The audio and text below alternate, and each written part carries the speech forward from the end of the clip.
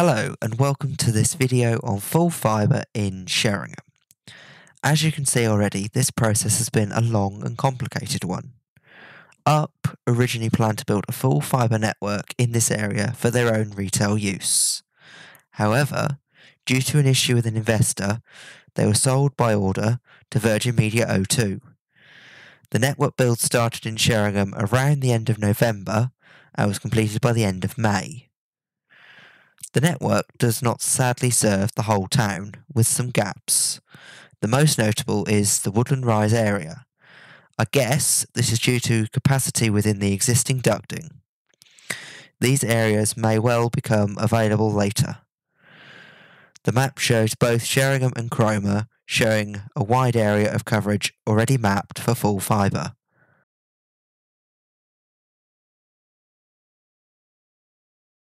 Now we move on to the day the contractors connected up my road to the network. Two contractors arrived from FNS who connected the road via an overhead solution due to the existing copper cable being buried directly in the ground. They fitted new connectorized block terminal units on each telephone pole allowing for new fibre drop wires to be fitted for customers should they choose to sign up for the Virgin Media service.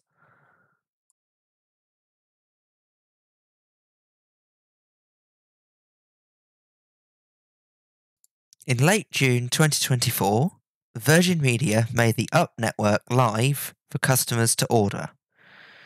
The same day it went live, a sales representative knocked on the door. The sales rep offered us the same deals as I had seen online. He did try and add some discount. We signed up for the M350 full fibre broadband only plan with symmetrical speed boost.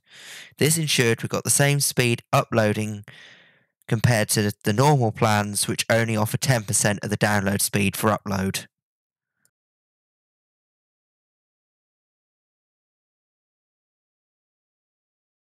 On the 8th of July 2024, Virgin Media arrived to install the drop wire to connect my property to the network. They installed a white connection box on the outside of the property. You can see here the existing OpenReach drop wire and the newer fibre drop wire. Virgin Media asked us where we wanted the new drop wire and could present it exactly where we required it, into the office.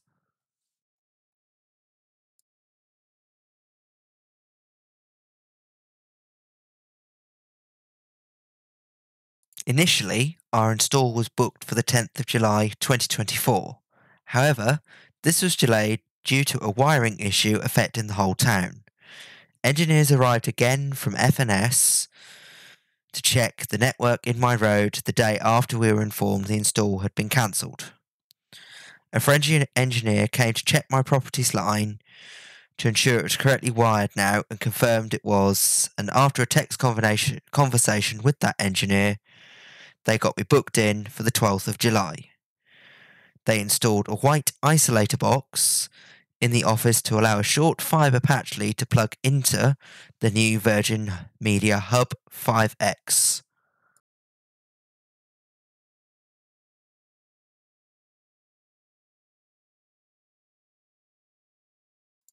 I am now going to run through some speed tests. I will let the results speak for themselves.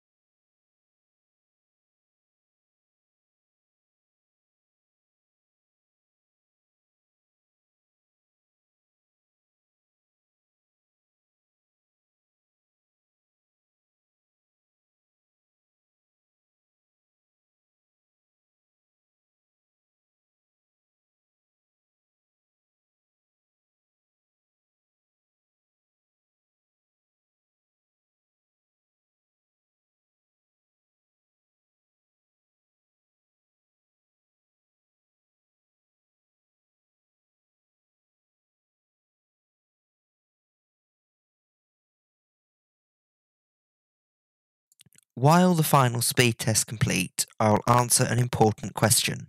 Would I recommend Virgin Media full fibre? I absolutely would. We were kept informed by the approachable engineers regarding the delay, and the service has only dropped out three times since installation. This is significantly more reliable than the old fibre to the cabinet connection we had previously.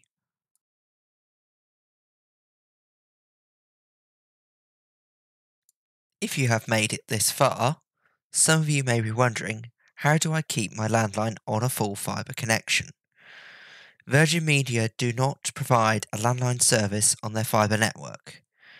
However, a company called Vonage provide a calling package via an analog telephone adapter.